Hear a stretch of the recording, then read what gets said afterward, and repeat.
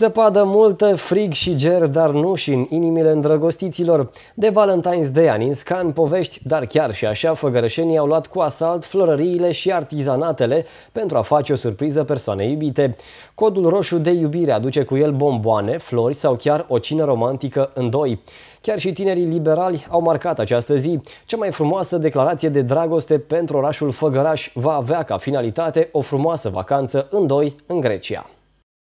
Iubesc cu pasiune și vor să arate acest lucru lumii întregi. Chiar dacă este o zi a iubirii importată, totuși îndrăgostiții văd astăzi doar roșu în fața ochilor. Inimioare, jucării de pluș, bomboane, flori sau chiar o cină romantică în doi, pe toate le-ar dori pentru persoana iubită spre bucuria comercianților făgărășeni.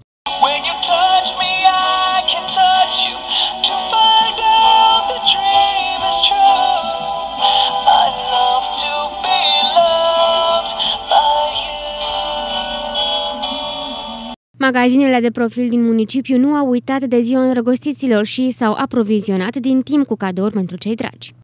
Vânzarea merge mai bine ca într-o zi normală.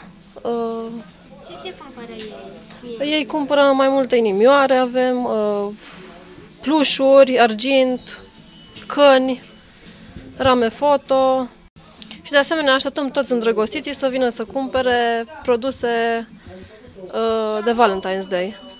Totuși, dacă astăzi partenerul lipsește și doriți să spuneți cuiva te iubesc, tinerii liberali organizează un concurs prin care cea mai frumoasă declarație de dragoste făcută orașului Făgăraș va fi răsplătită cu o vacanță în doi pe plajele din Olympic Beach din Grecia. Astăzi, cu ocazia zilei de Valentine's Day, lansăm un concurs cu tematică o declarație de dragoste, dar așteptăm declarație de dragoste pentru orașul Făgăraș. Concursul este lansat și susținut de organizația PNL Făgăraș și prin, lansată prin Tineretul Național Liberal.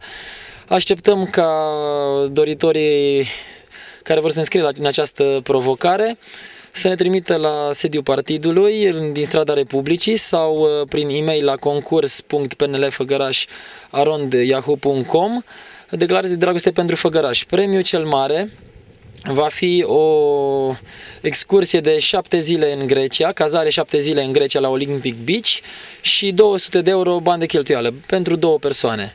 Se pot înscrie uh, persoane de orice vârstă, doar că condiția este ca câștigătorii care se vor deplasa în Grecia să îndeplinească vârsta de 18 ani. Totuși, dacă preferați iubirea autohtonă, atunci va trebui să așteptați până pe 24 februarie ziua de dragobete pentru a face o surpriză persoanei iubite.